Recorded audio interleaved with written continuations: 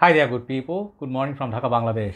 2 a.m. on the dot here in Dhaka, and I'm going to be doing one episode for you tonight. I realize I don't want to do too many videos because it really, you know, people don't have that much time. So I'll do one video today for summer since summer is here full on. It's even warm at night, you know, but the cool breeze, everything is gone. So basically, we have to uh, wear some freshies. So today's episode is a little bit different. Please do watch out for it. You can also check the description box for the name list if you are too lazy to watch the video or if you have, don't have enough time, right? So that's fine. But uh, if you are looking to get some unusual fragrances, doesn't have that mainstream vibe that not many people talk about, you know, this is the kind of that list. You know, I don't know how I'm going to title this, but these fragrances not that many people talk about. These are hidden gems, okay? So uh, let me think of a title that will be, you know, interesting. But let me uh, get that uh, video going as I show you, you understand. I've reviewed all these fragrances in the past. They are all from my collection and uh, you can check them out in depth for in-depth review, okay, or analysis. First fragrance I'll show you today, I'm pretty sure you haven't seen this in, I don't know, I haven't seen any reviewers talking about it recent times. This is one of my favorite houses, you know, I got this backup bottle for a reason. This is called uh, Silver Scent Deep, okay. Have you seen this anywhere? No, right? I have reviewed this long time ago. This is Jacques Bogart house. You know, you guys know about Jacques Bogart, Bogart Homme, then you know Bogart one man show Riche, and you guys know about those. But this line, Silver Scent, it's a line. It's a solid line. They have Silver Scent, pure, deep, intense Silver Scent. I think maybe there are a few more. I don't know. But this one right here is a sweet um, fragrance, but can be worn in summer. It has excellent longevity, but that beast mode that people, and if you see the British reviewers talking about uh, like George talked about Silver Scent, it's like nuclear and stuff, right?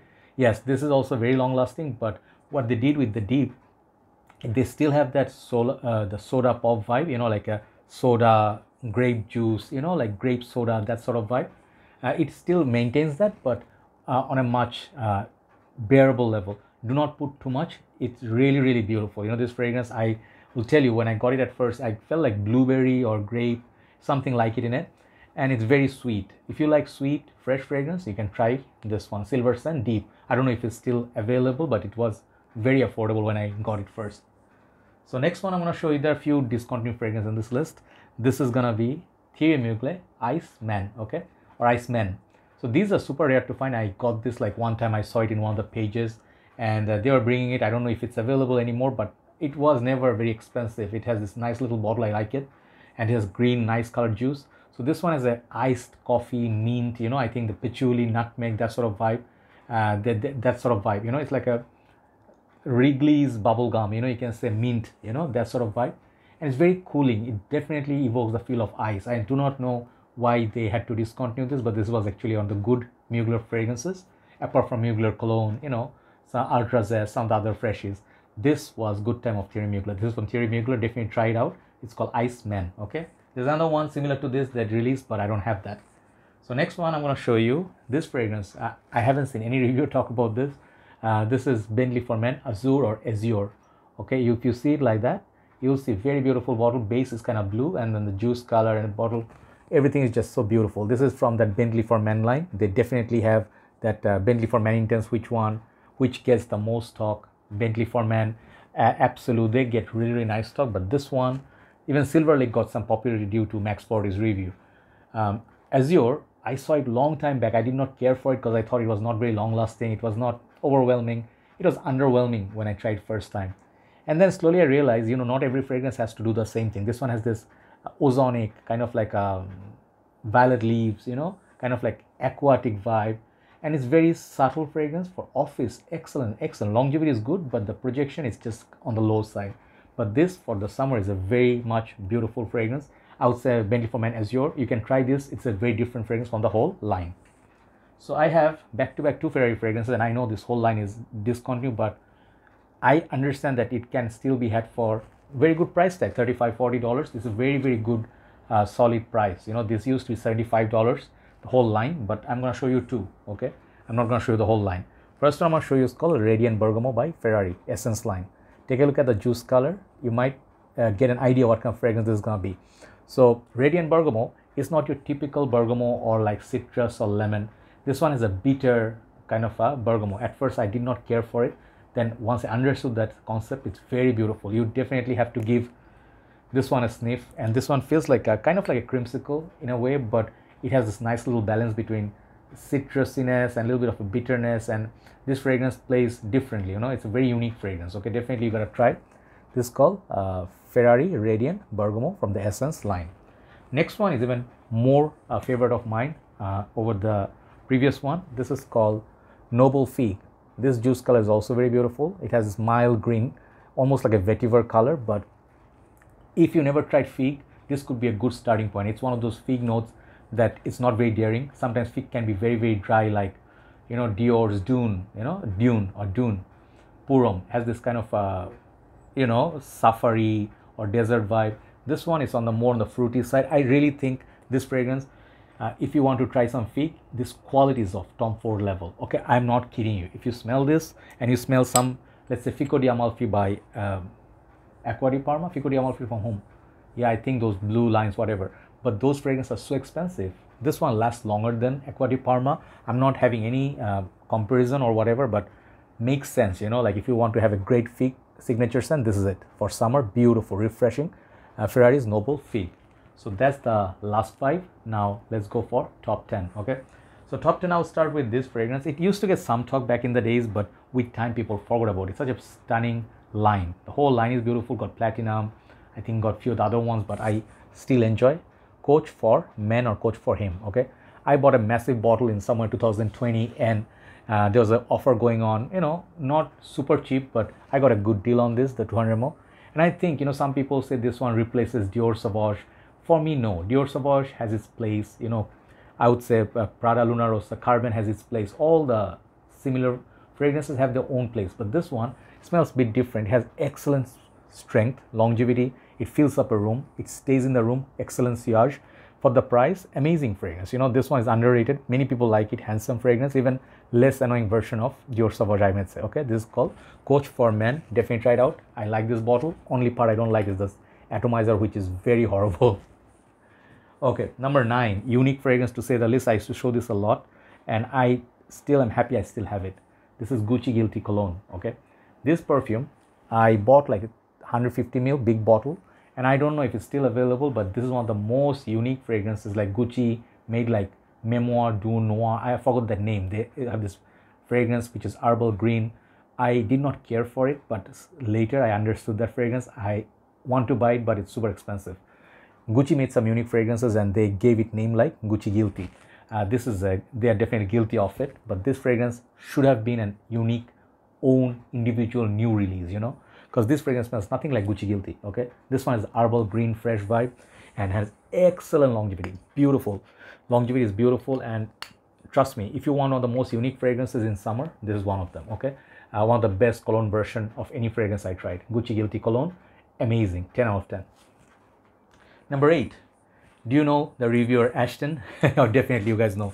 Uh, is the funniest. He has the best sense of humor. He pumps videos every day. He's one of the most happening reviewers. You know, like uh, Jensen's. You know, like he's like I'm Jensen's, right? So I know him when he started his channel. He started, I think, few months after my channel started, and we are good friends. You know, he is. Uh, I would call him a good friend, even though we don't talk that much frequently. But uh, he, uh, you know, he has this history and I have a history with him.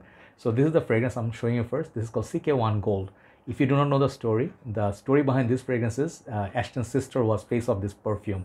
And I was surprised to know that. And I will tell you, this fragrance is super. You know, like when it was released, I think it's discontinued now, very hard to find. I think I have plenty of juice left in the bottle. One of the most amazing looking CK1 bottles, melting gold. Some people say may, may say gimmicky. I'm a big fan of CK1 line. I collect a lot of them. This one apparently has the oud note and I think uh, perhaps fig or one of those fruity notes. It's a very sweet, very underrated kind of fragrance and it smells supposedly should be good for winter. I enjoy this in summer. Opening is like million dollars. Definitely try it out. This is called CK1 Gold and definitely check out the commercial of this fragrance which features Ashton's sister. So CK1 Gold. Next one Salvatore Ferragamo, I'm bringing this back. This is called Urban Feel. I always forget the name, there are too many releases. This is another blue fragrance which flew under the radar. Nobody talked about it. This is one of the most, uh, I would say, mm, not very unique, but it's one of the most underrated fragrance in a sense that this is great for the city, city life, work, office. If you have like a shirt, white shirt, you know, just tucked in, formal pants, no suits. This fragrance is sporty, youthful. This fragrance brings energy right after the shower. It, uh, you know, definitely will uh, make you feel refreshed and stuff. Very nice fragrance. Has the blue shower gel vibe, but different. Okay, uh, not very unique, but different than everything else. Cannot be called a clone of anything. You can like Dylan Blue, perhaps you like this. Okay, but it's different also. Okay, Salvatore Ferragamo Uomo Urban Feel. Great fragrance. So I have six, number six, then I had top five. Number six is this fragrance. People are guilty that people don't talk about this house. I am so sad, not mad, sad. The reason being, this house deserves a lot more love. They have so many beautiful fragrances people don't try, you know, like Bulgari, you know. You guys know Bulgari has great fragrances, but people like, eh, you know, I don't know, you know, people's reactions that. If you see this line, try it out. This is called Bulgari Purom Soar. They have Bulgari Pour Homme, Bulgari Pour Homme Soir, and Intense. I have this and Intense. This is my more favorite. Intense lasts longer than this, but this one has the tea. Man, that tea note is something to die for. Very gorgeous, very gorgeous. And it's like, uh, it has that feel, you know, the cap is also very heavy, you know. Jewelry makers, they definitely put attention to detailing. Very heavy cap. So this one, Bulgari is black. Bulgari is one more fragrance is coming up. I'm gonna give them credit because these are underrated. This is one of the best tea-based fragrances. Trust me on this. This got some smoky vibe, a little bit of a rubbery vibe. Try it out for office. This is an excellent choice for summer. This is called Bulgari Pour Homme Soir. Okay, that's number six. Top five. Discontinued item. I just love showing you this one. Hunt it down when you can. But this one is picking up super price tag. Just check out the fragrance on uh, Amazon eBay. This is called Givenchy's Play. As you can tell, this is the base uh, vintage version. I have about three. This one, Intense, Play in the City. I have also one more, Sport. This is my favorite for summer. Fruity, fresh, sweet, beautiful combination. It's a youthful fragrance. Justin Timberlake was the face for it. This was in shape of MP3 player. Very creative days of Givenchy, another underrated house. If you smell this, you know, perhaps not the beast mode activated, but this perfume is so lovely in summer. You just want to enjoy, relax, chillax, you know, go on a hotel lobby by the pool. You're just enjoying your, I don't know, coconut or something like that. This is a fragrance I would wear. Very beautiful. You can say almost bubblegummy type, but not that annoying. Beautiful, fruity, fresh, sweet perfume with a hint of citrus. Okay, Givenchy's Play. Uh, number four. Here is the other Bulgari that I love. This is super rare now. This is super expensive. Nobody talked about it. Flew under the radar. People talk about Bulgari's Men in Black. This is where it came from. Pink pepper, uh, got some oranges. You know, I think got some vetiver. You know, some. It's like a fresh, spicy masculine. Also got that orange. Beautiful balance. Great longevity on the shirt. Lasts about seven to eight hours. Try it out if you don't want to wear Bulgari's Men in Black in summer. This is the daytime version. Check out my review on this this is an amazing fragrance. You know, those back in the days, the reviewers used to review this. Check out the review. Bulgari's Man. I would rate this like 9 out of 10. Number three, discontinued gem. Uh, this is the fragrance. uh, this is called Paco Rabanne 1 Million Cologne. I got this long time back, and this bottle something special about it. From front, the juice color looks golden, but actually it's the paint at the back that makes it like that. But if you see from this side, oh man, no. You see from this side, see the juice color is kind of like mild yellow, not that golden. So that's the juice color. And the best thing about this fragrance is all that 1 millions cannot take out the cap. This one you can. When you smell it, man, uh, such an underrated rose, aquatic, watery kind of citrus. And it's not super heavy like 1 million. It can be worn also all year round. But I feel this fragrance, if you put two sprays on yourself, uh, you're to be very unique. Nobody's to smell like you. This is one of the most unique fragrances in my arsenal. 1 million Cologne by Paco Rabanne. Check it out. Discontinued but worthy collecting. Number two, my favorite Versace the Dreamer. Yes, I know many people would say Versace the Dreamer could be a good powdery uh, tobacco fragrance for winter. I know, but in high heat, in Malaysia I tried, Bangladesh I tried, still a beast mode fragrance. If you do not have this, if you do not have Versace's uh, blue jeans, these two fragrances are super underrated. Affordable, beautiful, long lasting I personally prefer Dreamer a lot because one thing is the bottle. Look at that Versace's logo. The Medusa head is raised. This is of the stunning looking bottles from Versace and I like how they made the juice color so see-through. It doesn't tell you a story. Moment you spray this on, man, it according to Mark, I got this for Mark, you know, like Robes 08. He got me interested in this. When I tried it, I did not like the opening. It was too strong, powdery. As the time progressed, it's like magic. Longer and longer it stays on your skin. As per Mark says, it gets better. That's the magic of Versace the Dreamer. Try it out. Excellent signature scent. That's number two. Number one, let me finish the video with this note. This is a niche fragrance. This is the most expensive in this whole lineup, and I don't know why I brought it up. I have huge love for this. This made my number one creed many years. Okay, and my mind changes. I do pick different creeds in different times, but at this current moment, it's Royal Oud. Okay, this is not perhaps it, but summer. This is Summer King. This is the fragrance, Virgin Island Water. This fragrance used to come with a blue cap. I think I remember uh, before. This is also 120 ml vintage version. Coconut, pina colada. I think pina colada. How do you say that? Okay, it's like a boozy, like a coconut, like a lime. This fragrance, man, in the high heat, higher the heat, this fragrance is king. It's like an emperor. It projects through. Sometimes I got compliments. Sometimes I got negative comments like, "Hey, you smell like coconut oil." That people people put on their head, and that's not a good thing because that's what it's like. You know, it's a practice here. I'll tell you. Uh, see this? This I use this sometimes. It's a I use original coconut oil as well, but this one has that uh, belly uh, flower vibe with aloe vera and stuff with the coconut oil. It's it's much more smoother, but the original coconut oil it's kind of like very straightforward, tropical, very intense. This one is very intense. Okay. The older batches I believe used to have more lime, and this later batches got more coconut. But mine, I get both equally. This fragrance tomorrow I'm gonna wear because sun is up. This is a perfect fragrance to wear. This is so beautiful. One of the best creeds, hands down. Okay, try it out. I like this over Aventus. There you go. Number one is uh, today Virgin Island Water. So check this fragrance out and do tell me which ones you never tried and you are interested in. Have a nice day. Thanks for watching. I'll see you soon. Bye bye.